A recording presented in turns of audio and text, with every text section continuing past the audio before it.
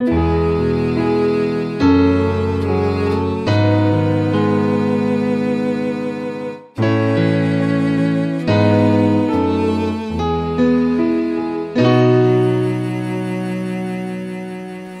จะครองแผ่นดินโดยธรรม คือถ้อยคำที่พระองค์ทรงให้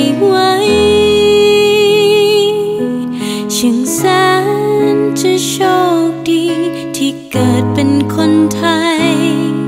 ได้ภาคภูมิใจเสมอมา ถ้ามีใครถามทำไมคนไทยถึงรักพระองค์อย่างนี้ แค่ได้ชมพระบารมี ก็ยิ้มทั้งน้ำตา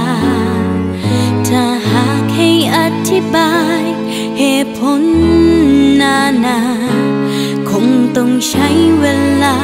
เท่าชีวิตนี้ เพราะท่านทำเพื่อคนไทย ด้วยธรรมะของพระราชา หวังให้เราชาวประชาอยู่ดีกินดี ท่านต้อง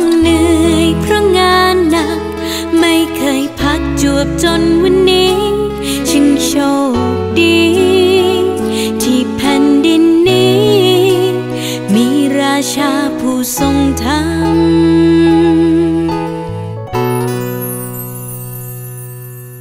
ทรงเป็นนิยามแห่งความดี เป็นอัญมณีที่เลิศล้ำสดสวยใสกระจ่างสว่างโดยธรรมด้วยน้ำ ถ้ามีใครถามทำไมคนไทยถึงรักพระองค์อย่างนี้ แค่ได้ชมพระบารมี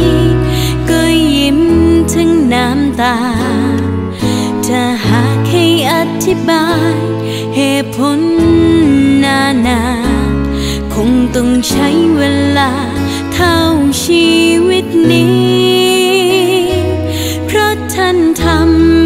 คนไทย ด้วยธรรมะของพระราชา หวังให้เราชาวประชาอยู่ดีกินดีท่านต้องเหนื่อยเพราะงานหนัก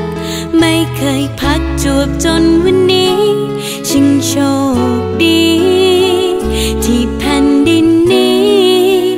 มีราชาผู้ทรงธรรม